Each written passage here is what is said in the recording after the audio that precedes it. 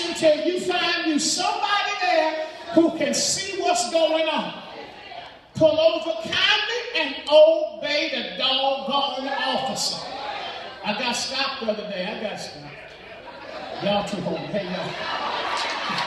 I got stopped. Bruce, Deacon, Bruce, I got stopped. Y'all, I'm not gonna lie.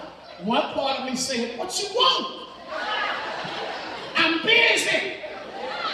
The other part of me said, Man, you better pull over. So hold on. I'm following the same biblical advice I'm giving you. I put on my flashes and I looked around. I drove up one street till I got to 11th Street. I hooked me a right hand turn. I know he figuring, hold on, when you gonna stop? I'm gonna stop.